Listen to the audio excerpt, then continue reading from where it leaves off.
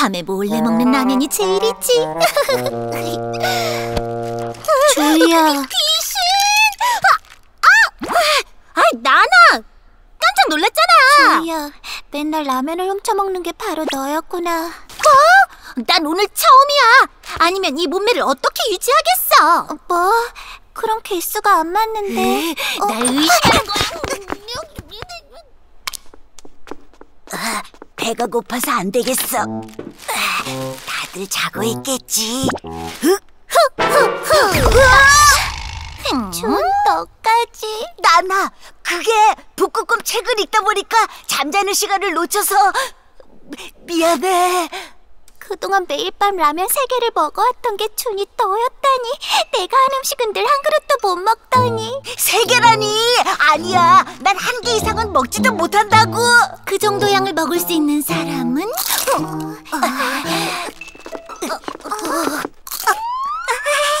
다들 안녕. 리틀미미, 너 여기서 뭐 하는 거야? 리틀미미, 저희 준 실망이야.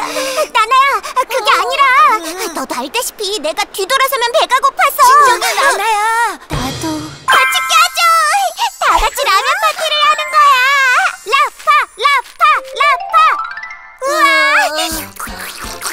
어, 정말 세 개나 끓인 거야? 음, 이 정도 먹어줘야 재봉틀을 돌릴 힘이 난다고. 난 우유로 라면을 끓였어. 우유가 라면에 염분을 배출하는데 도움을 주거든. 다음날 얼굴 붓는 걸 막을 수 있대. 오, 그래? 음, 주는 역시 똑똑해. 난 청양고추와 캡사이신, 와사비를 넣어봤어. 주희, 넌 뭐 특별한 거 없어? 음, 요샌 비주얼인 거 몰라? 짜잔! 자, 어때? 유행할 것 같지 않아? 네가 뭘 알겠니? 네 유튜브 구독자 수를 보면 알 것 같은데. 뭐야?